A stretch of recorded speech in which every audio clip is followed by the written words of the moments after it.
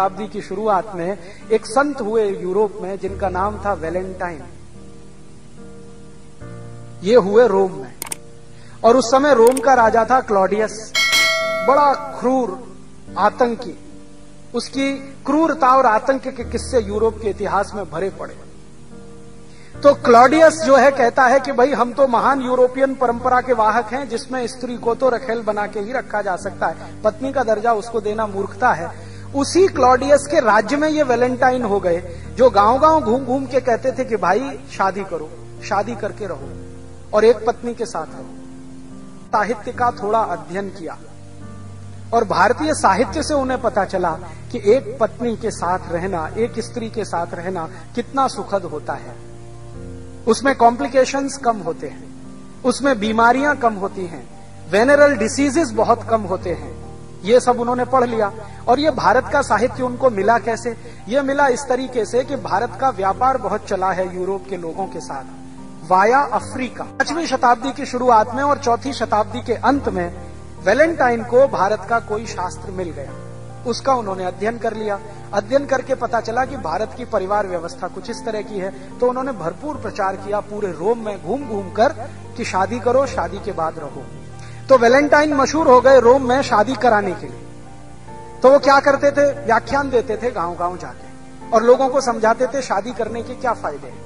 और शादी करने के बाद शारीरिक संबंध रखने के क्या फ़ायदे हैं? वो सब समझाया करते थे। क्लॉडियस जो था, उनसे चिड़ता था हमेशा। क्लॉडियस ये कहता था कि हमारी जो महान परंपरा है यूरोप की शादी नहीं करने की, उसका ये नाश करने में लगे हुए बहुत ज़्यादा गुस्सा जब आया क्लॉडियस को तो क्लॉडियस ने क्या किया? वेलेंटाइन को फांसी पर चढ़ाने का आदेश दे दिया। राजा जो होता था, वो कोई भी आदेश दे सकता था। राजा के मुँह से निकले हुए शब्द ही कानून माने जाते थे। तो क्लॉडियस ने वेलेंटाइन को फांसी पर चढ़ाने का आदेश दे दिया, और 14 फरवरी सन चार सौ अट्ठानवे को वेलेंटाइन को फांसी पर चढ़ा दिया गया। अब हुआ क्या?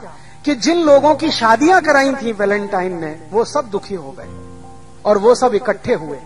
और यूरोप में आपको शायद मालूम है या नहीं, सन 1950 तक फांसी देने की परंपरा खुले मैदान में होती थी। दंड जो है ना, फांसी जैसा, वो सबके सामने दिया जाता था।